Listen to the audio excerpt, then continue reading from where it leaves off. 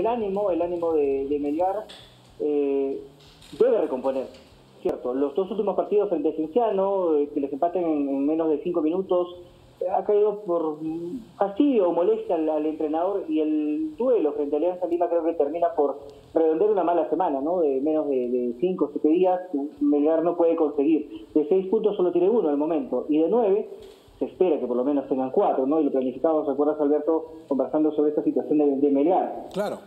Claro, claro, yo, me acuerdo, ¿no es cierto?, la, pretensión de los siete puntos de los que hablabas, pero, pero también conversábamos en aquella oportunidad, José Luis, que, el, que el piso de Melgar era muy alto, es decir, inclusive perdiendo el próximo partido, se va a mantener en la punta del acumulado, se va a mantener a tres puntos del líder de clausura. No es que esté fuera de la pelea para menos, ¿no? Entonces, me diera la impresión que este es un momento en donde lo que se necesita en, en el equipo del equipo es calma, ¿no?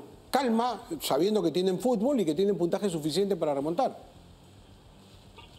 La calma y la paciencia que debe tener todo plantel al momento también de jugar, cuando estamos viendo el, partido malo que jugó Melgar, y creo que se reconoce porque no es el Melgar que solíamos ver a nivel internacional, eh, un Melgar descompuesto, futbolísticamente hablando, con algunos cambios que realizó también el entrenador, pero esto le sirve creo que de experiencia al entrenador para acomodar mejor a los futbolistas que tenga para el día de mañana, porque no van a estar ni cuesta no por acumulación de cartulinas amarillas y borracar que se ganó la cartulina roja. Ahora, ¿quiénes pueden alternar eh, en estas posiciones tan importantes? En el caso de Cuesta, no puede ir Quevedo porque ya jugó frente a Municipal como hombre de punta.